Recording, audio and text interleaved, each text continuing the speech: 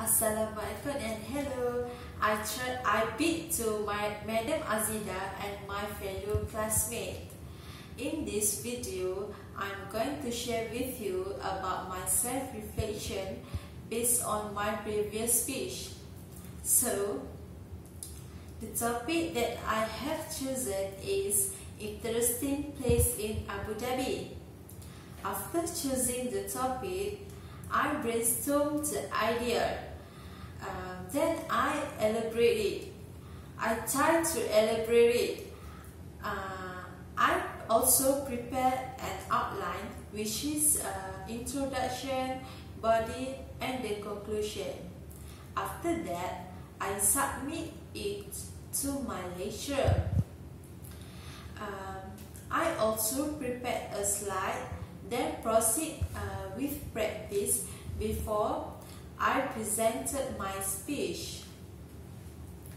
Uh, my strengths are I can control my nerves uh, and then I, I think I have good confidence level uh, when I was presenting my speech.